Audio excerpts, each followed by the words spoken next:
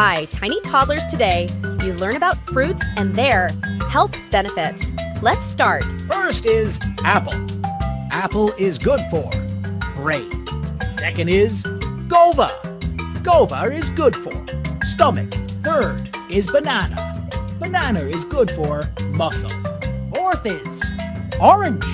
Orange is good for immune system. Fifth is plum. Plum is good for teeth and gums. Sixth is pomegranate.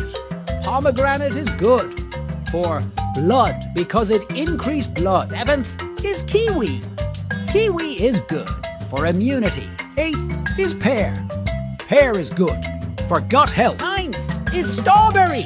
Strawberry is good for immune system. Tenth is mango. Mango is good for eyes. Eleventh is grapes. Grapes is good for memory. Twelfth is watermelon. Watermelon is good for heart. I hope you would like these video. Stay connected and subscribe the channel by Tiny Toddlers.